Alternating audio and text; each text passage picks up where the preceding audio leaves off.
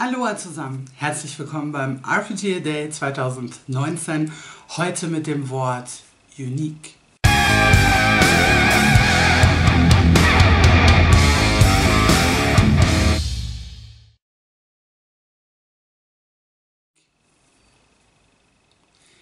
Ja, Aloha zusammen. Heute Unique. Was fällt mir dazu ein? Unique ist etwas, was einzigartig ist und das ist jetzt direkt so eine Nähkästchengeschichte. Was ich immer versuche, wenn ich mit einem neuen Spiel anfange, ist dieses Spiel als einzigartig zu sehen. Ja, das kann manchmal ein bisschen schwierig sein, gerade wenn verschiedene Spiele eben das gleiche Regelgerüst nutzen, sowas wie Fate oder Powered by the Apocalypse, Savage Worlds oder so. Also, wo man eben ein bisschen freier ist, was das Setting angeht. Und trotzdem sich auch verschiedene Settings immer ähneln, also Fantasy, Science Fiction und so weiter, gibt es doch immer was Besonderes. Oder es gibt zumindest etwas Besonderes, von dem derjenige oder diejenigen, die das Ganze verfasst haben, glauben, dass es einzigartig ist. Oder dass es eine einzigartige Note reinbringt. Und das versuche ich eigentlich im Vorfeld beim Lesen schon so ein bisschen zu finden. Ich versuche herauszufinden, in welche Richtung das gehen soll, welche Nuancen vielleicht einfach neu sind oder auf welchen Konflikten ein bestimmter Schwerpunkt liegt oder welche Würfe besonders interessant sein könnten oder auch wie der Charakterbogen eben aufgebaut ist. Das schaue ich mir auch an. Gibt es viele Skills oder wenige? Wie viele Attribute gibt es und welche? Gibt es besondere Moves, die man irgendwie machen kann oder äh, verschiedene Arten von Bennys, die reinkommen und was genau will man eigentlich damit erreichen.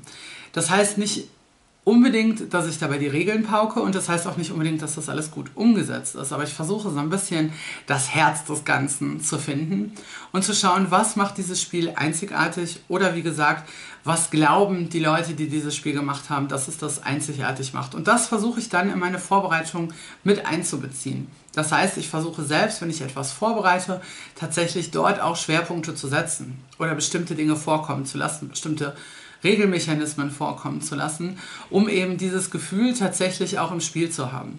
Um nicht irgendein Spiel zu spielen, aber mit den Regeln von X oder mit dem Setting von Y, sondern eben zu versuchen, genau das zu spielen, was ich da gelesen habe.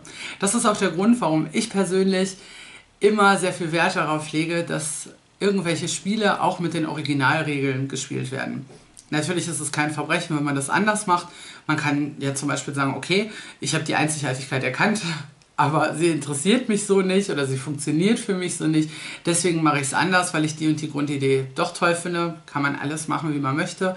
Ich möchte einfach nur eine Idee mitgeben, wie man an so ein Regelwerk, an so eine Setting-Beschreibung entsprechend rangehen kann. Beispielsweise muss man nicht machen. Was man nämlich sagen muss, natürlich ist das Ganze ziemlich zeitintensiv, denn man liest ohnehin mehrfach und relativ akribisch, gerade wenn neue Regeln dazukommen, die man irgendwie lernen möchte. Und da dann noch rauszufusseln, was jetzt wohl der Kern und das Herz des Ganzen ist, was das Ganze eben unique macht, das kann durchaus mehr Zeit in Anspruch nehmen, als wenn man einfach nur vorbereitet. Und wir wissen alle, das kann auch schon ziemlich zeitintensiv sein.